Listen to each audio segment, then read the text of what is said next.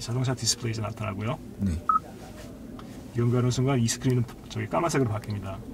그러면은 아까 같은 앱들이 여기서 카카오 내비가 있고 또 벅스도 있고 그대로 나타나는 것입니다. 뭐야 한번 해보실까요?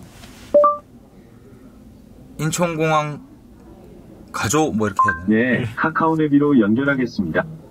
네, 그럼 인천공항 나오고요. 한 번 더 해봐도 될까요? 뭐 주유소 이런 것도 할수 있고요. 해보세요. 가까운 주유소 알려줘.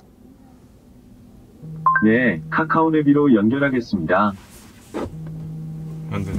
가끔씩 그 가까운 주유소 알려줘면 알려줘가 잘려야 되는데요. 카카오 내비로 넘어가고 카카오 내비가 그걸 어떻게 해야 될지 잘 모르거든요. 좀 버그인데 고쳐야 될 것 같아요. 오케이 구글 해도 되고요. 네.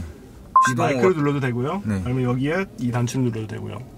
음. 음성 command 단추가 여기 있거든요. 아, 예. 일단 시동어는 오케이 구글인가요? 시동어는 오케이 구글이죠. 예. 오케이 구글 인천공항 길 안내해줘. 네, 카카오 내비로 연결하겠습니다. 또 중국어 하는 거네요. 인천공항. 네, 카카오 내비로 연결하겠습니다. 뒤에서 하면은 마이크가 앞에 있기 때문에요. 좀 잘 안 잡힐 때가 있어요. 최신 음악 틀어줘.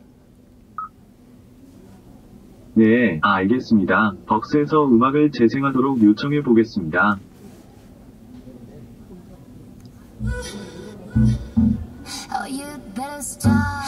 지금 벅스 말고 다른 음악 앱도 되는 거죠? 예, 여기 뭐 멜론도 지금 돼 있고요. 그러니까 멜론에서도 음악 틀수 있죠.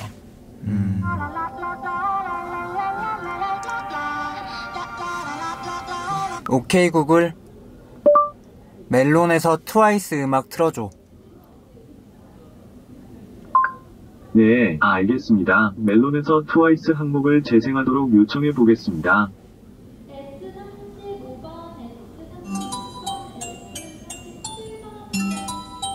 Hey, sweetie, sweetie. 오케이 구글. 엄마한테 메시지 보내줘. SMS 앱을 사용하여 엄마님에게 메시지를 보냅니다. 내용을 말씀해 주세요. 늦을 것 같아요. 다음은 엄마님에게 보낼 SMS 메시지입니다. 늦을 것 같아요. 전송할지 아니면 변경할지 선택해 주세요. 전송. 전송 중입니다. 메시지가 전송되었습니다. 예, 이렇게 해서 보낼 수가 있고요. 다른 메신저도 되는 거죠? 지금. 어, 다른 메시지 앱은 이제 그 메시지 앱이 support를 해야 되거든요. 어, 그래서 되는 앱도 있고 안 되는 앱도 있고요. 그- 앱 developer에 해외 WhatsApp 같은 거 되잖아요. WhatsApp도 되고요, 페이스북 네. 메신저도 되고요. 어, 예. 카카오톡도 나중에 곧 지원하겠네요. 그래야 되겠죠. 예. 네. 음. 같이 대화하고 있는데요.